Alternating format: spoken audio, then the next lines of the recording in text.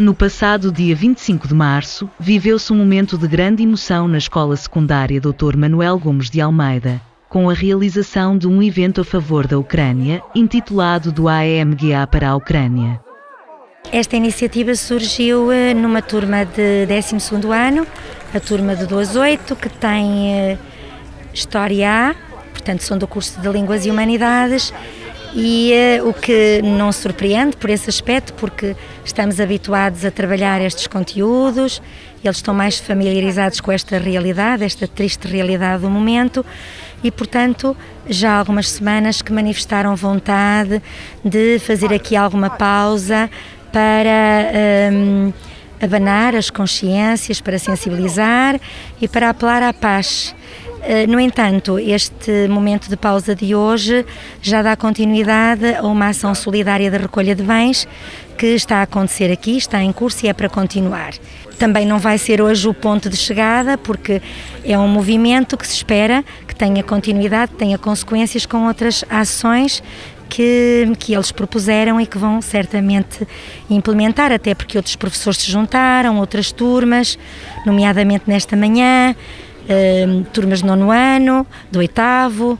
O oitavo 2 vai ter aqui uma participação mais ativa na, neste momento e,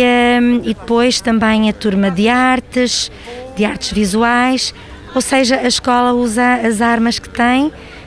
nesta luta contra a guerra e neste movimento pela paz, que é a escrita, uh, o desenho, a música, enfim, são as nossas armas no bom sentido.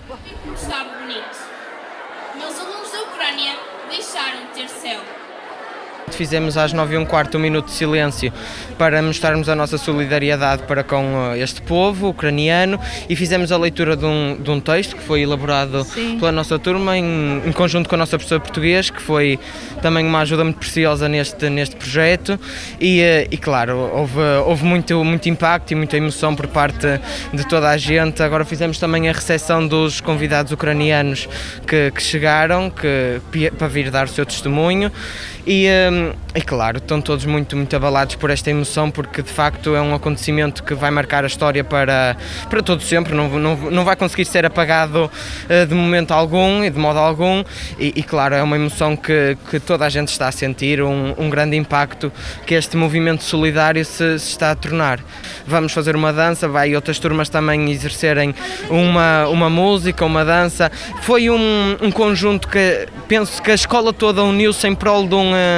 de um, de um acontecimento em prol de, deste movimento da solidariedade para com o povo ucraniano, acima de tudo. Sim, para também para as pessoas entenderem que Portugal realmente está disposta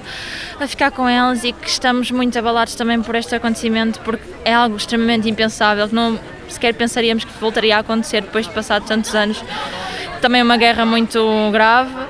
e que Portugal está disposto a acolher estas pessoas e disposto a ajudar com todo o, nosso coração, porque realmente gostamos destas pessoas e elas não merecem que isto está a acontecer. Para mim, que tenho metade da família na Rússia, e para mim isto é muito, muito complicado, porque cada soldado isto pode estar o meu primo, percebem? E muita gente na Rússia não quer esta guerra. De louvar e enaltecer a, iniciativa dos nossos alunos e dos nossos professores uh, neste gesto de solidariedade com o povo da Ucrânia. Uh, este é um momento, portanto, que, e, e certamente que vamos continuar, uh, até no âmbito do nosso projeto educativo, a manifestar o nosso apoio e a nossa solidariedade para com este povo que está em grande sofrimento.